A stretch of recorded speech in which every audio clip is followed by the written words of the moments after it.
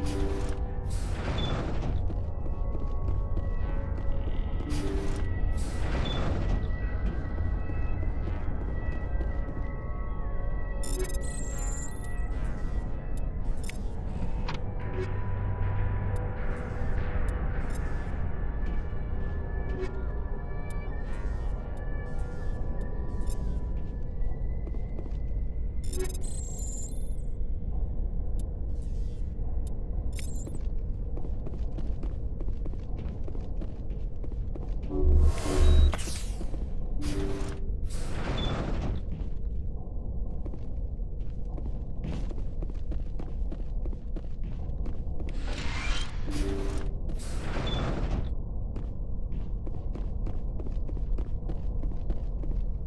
Personal data recorder for Major Elena Flores.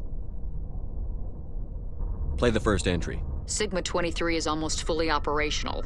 The barracks and storage lockers are complete, and we've begun stocking the munitions. It's highly unlikely the Alliance will patrol in the nebula. I expect our only risk will be from pirates, and who'll believe them? Looks like we'll have space for two reinforced platoons of Cerberus commandos. Cerberus. Damn, we should have known. Play the second entry. The package arrived today for field testing. I'm told they're fundamentally similar to the units being developed on Noveria. They promise this batch will be stable, something about them developing in proximity to the master control unit. We detected some pirates setting up an anchorage in a neighboring system. I think we'll try deploying them there first. Play the last entry. They've escaped containment. Clever bastards.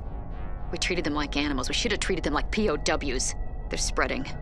Boarding the supply ships and sending them to random destinations. They'll be all over the cluster in a week.